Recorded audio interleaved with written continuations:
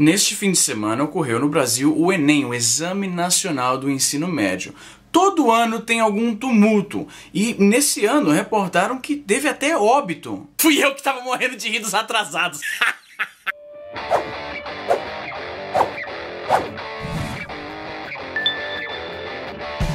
E aí pessoal, beleza? Eu sou o Snobre e esse aqui é o Horário Nobre. Todo ano, todo ano a gente vê o pessoal que se fode porque chega atrasado no local de prova do Enem. Todo ano, mano. Todo ano tem vídeo engraçado, tem, tem, tem vídeo de gente correndo e, e caindo no chão, tem vídeo de, de tem foto de gente chorando. E os caras não aprendem, mano. Os caras não. Porra! Aí o pessoal fala, ah, mas easy quem todo ano quem faz o Enem é uma pessoa diferente, né? Não é o mesmo cara sempre chegando atrasado no, no, na prova todo ano. Mano, você não precisa fazer o Enem para saber que esse dia, nesse dia, pontualidade no Brasil é levada a sério. Porra, eu não tô nem no mesmo hemisfério de vocês, mano. E tem anos que eu sei que pro Enem você tem que sair de casa bem cedo, tá lá no portão com a sua caneta, com a sua identidade, porque tem isso ainda. Tem gente que se fudeu porque esqueceu a caneta, esqueceu o RG. Porra! Aí sabe qual que é a merda, mano? A merda é o seguinte, tu vai no Google, aí tu coloca Jovens acampam show e tu encontra uma porrada de artigo de vagabundo que fica dias, semanas, semanas acampando na frente de, de, do local onde vai rolar lá o show da, da do, do, do, Justin Bieber e da sei lá quem mais, mano. Quem quem da da Eliana. Mano, os caras acampam Porra, eu não sabia nem que dava para comprar barraca de acampamento no Brasil, porque eu nunca tinha visto isso, mano. Barraca de acampamento. Acampar é uma parada perigosa no Brasil. Agora, sabe que é um cara que eu quero. Que quero que esse cara. Porra, eu quero ser amigo desse cara. Teve um maluco que levou uma caixa de isopor com cervejas e sentou na frente de uma escola. pra assistir a galera desesperada, mano. Olha a cara desse filho da puta. Olha o que o cara falou, mano.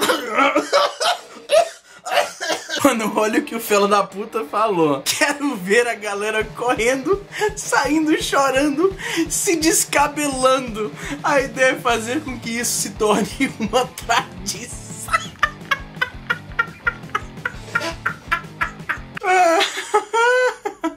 Ele se, ele se referindo aos caras chorando. Estamos aqui rindo e esperando essa chuva maravilhosa cair nas nossas cabeças. Assim que ele se refere aos caras chorando. Mano, que merda. Esse cara aí, ó. Esse cara se fudeu. Essa mina aí se fudeu também. Olha a cara dessa. Essa se fudeu pra caralho. E um negócio aqui. Vamos parar com essa porra de dizer que não, ah, eu me atrasei só por um minuto. Ou por um minuto eu não pude entrar na, no, no, local da prova. Um, um minutinho, apenas 60 segundos, meu Deus do céu. Porra nenhuma, maluco. Olha, isso é que nem o cara que vive fazendo merda no trabalho. E aí um dia ele chega atrasado 3 minutos, aí o gerente já tá puto e demite o cara. Aí o fela da puta fala que foi demitido porque você atrasou 3 minutos. Não foi, porra. Você teve vários dias, teve várias oportunidades para provar que você era um bom trabalhador. Você ficou fodendo a paciência dos outros, chegando atrasado e fazendo merda, desperdiçando essas oportunidades. E aí é aquela coisinha que, que, que faz com que a parada que, que exploda de uma vez. Aí você pensa que foi só por causa daquilo. Não foi aquele um minuto. Se a porta fecha às 13 horas, não é porque você chegou às 13 e 1 que você tá atrasado. Você teve horas, seu fela da puta, pra chegar lá. Você não teve. Não é que nem que. Não, não chegou o cara, o maluco. Quem, quem, é, quem é o dono do Mac? Quem que é os caras? Quem, quem que é o dono do Mac? Eu não sei, cuspir a câmera, porra. Tipo, o dono do Mac não chegou na sua casa, batendo panela em cima da, da, da sua cama, falando, acorda, filho da puta! A prova é daqui a um minuto. Você tem um minuto pra chegar lá. Se viesse, corre, porque você tem um minuto aqui no cronômetro. Pá! Não foi, porra. Tu teve horas, tu teve horas, filha da puta, pra chegar lá. Não vem com esse papo, não. Sempre tem dessa. O cara, ah, mas eu, eu fui demitido só por causa daquela coisa. Ah, eu não passei de ano por causa de um ponto.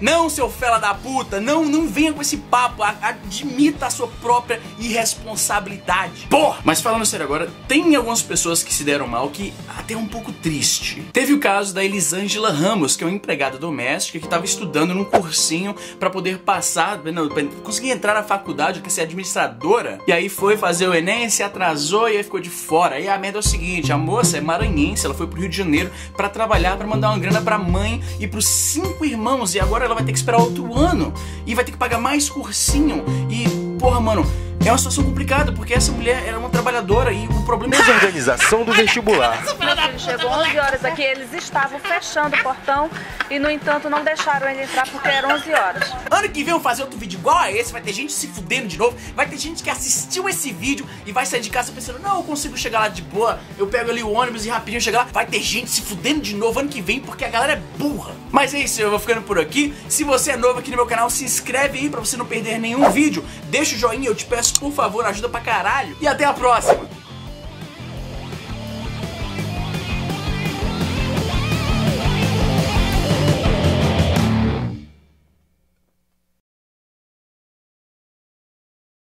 Sério, mano. Sério.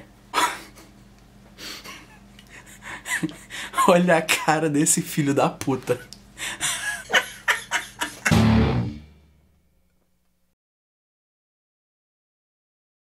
Deixaram entrar, pô. Não sei o que aconteceu. Eu, vim aqui, a cidade tá um caos aí, pô. Peguei o ônibus, acho que era 10 horas, 10 e 20. Peguei um micro, vim rápido, cheguei, ainda teve um acidente com meu ônibus aí.